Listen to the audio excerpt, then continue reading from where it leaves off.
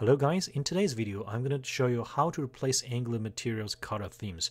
So Angular Material library comes with four default uh, color themes. Basically um, the color theme is five colors, the primary color, the accent color, uh, and also three other colors, the warning color which is red, the background and which is white, and the text color is black. You do not have to touch the warning, background, or foreground when you change a color theme, just change it to colors. Um, you don't need 50 different shades of red to send a warning, right?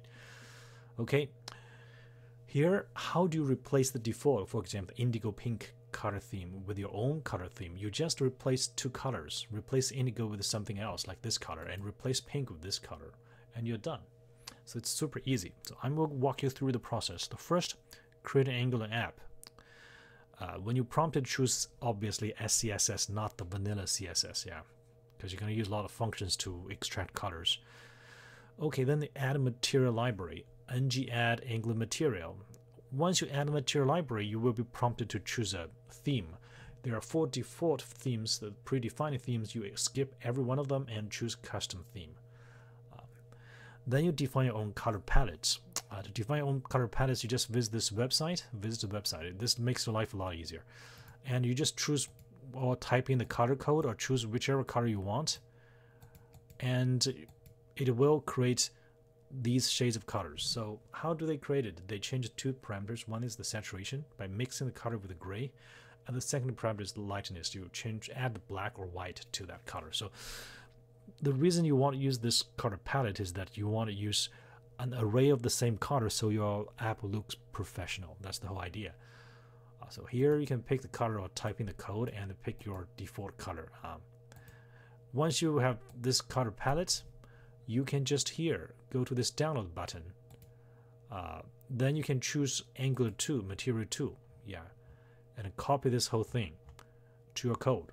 And this is the color you're going to use to replace your primary color then rinse and repeat, right? You just uh, do it again. Pick another color as your accent color, uh, like this guy uh, here, and then you can just download again and copy the other chunk of code.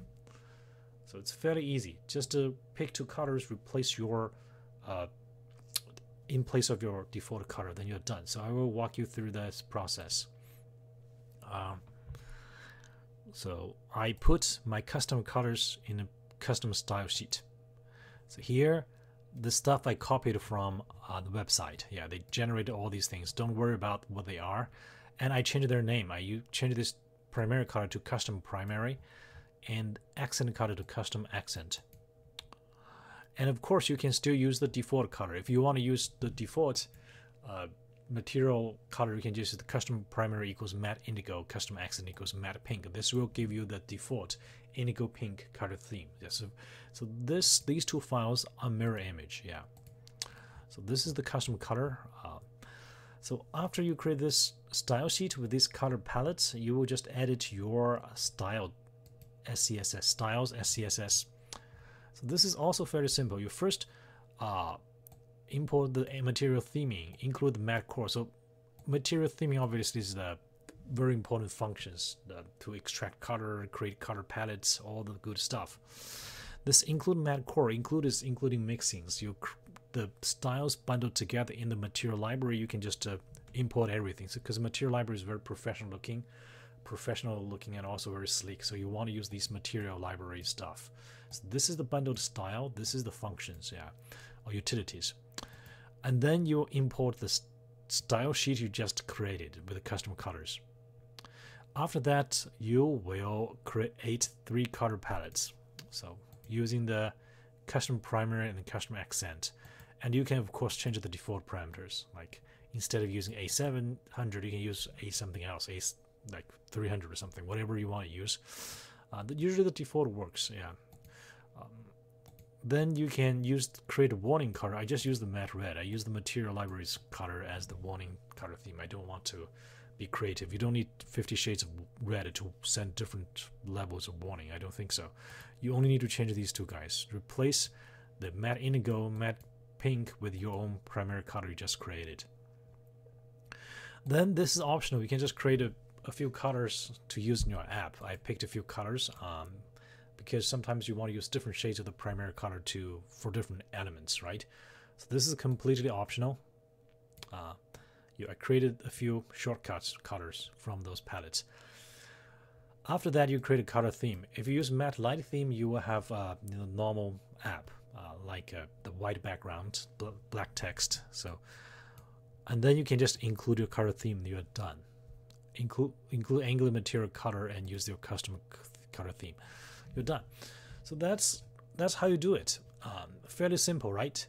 And then I can show the app uh, I created. Yeah. So here I use the replace the default color with my um, chosen color as the primary color and accent color.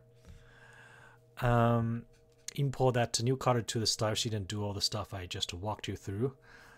And uh, how to use your uh, dark theme. Um, you just change one thing to use the dark theme. Uh, by the way, for professional apps, I wouldn't recommend that you use the dark theme. Uh, using dark theme is uh, kind of uh, weird for professional uh, website. So change mat light theme to mat dark theme, and also in your index HTML file, you add this guy on the body tag index HTML um, on the body tag class equals mat app background. Just add mat app background. So two things and you're done. You can have a dark theme app. So this is the dark theme, uh, which I don't think is good for professional uh, professional stuff. Yeah, for ID like Visual Studio Code is fine, but uh, yeah, let's still use the light theme. Okay, so feel free to download the code uh, from GitHub. Thank you.